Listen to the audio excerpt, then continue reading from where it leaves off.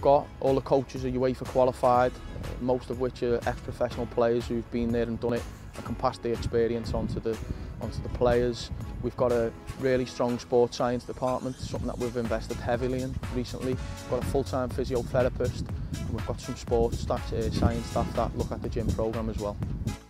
The Steven Gerrard Academy helps to develop players by the contact that we have with the players, the four different types of contact, uh, team training, technical, gym and the sports science approach. We're lucky enough to compete in the National Football Youth League. This is the most competitive and strongest league outside academy football.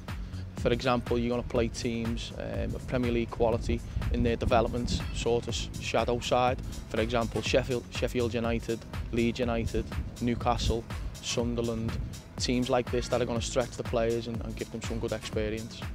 the academy is open to, to all players, so currently we have eight teams and it's not one fit for all. We, we cater for everyone, we're really inclusive. So we have a development section that for lads who just want to play and girls who just want to play grassroots and local level, but also for the elite players who, who want to push on to scholarships, um, semi-professional and professional too.